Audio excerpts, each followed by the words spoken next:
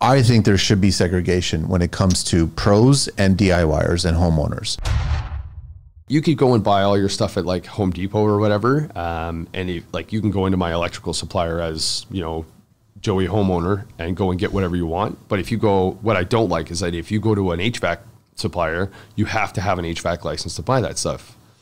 So it's It's true. you know. And I get it, gas and um, the burn off, like the flue, that's dangerous too. But so is electrical, So is electrical. right? Like, um, yeah, I don't know. There's there's a little bit of an You know, you there. bring up a good point. I think that suppliers should, like I've always said, I think there should be segregation when it comes to pros and DIYers and homeowners. Yeah, that's I right. don't think that any legitimate supplier offering whatever it is, electrical, plumbing, HVAC, or whatever it is, right, Yeah.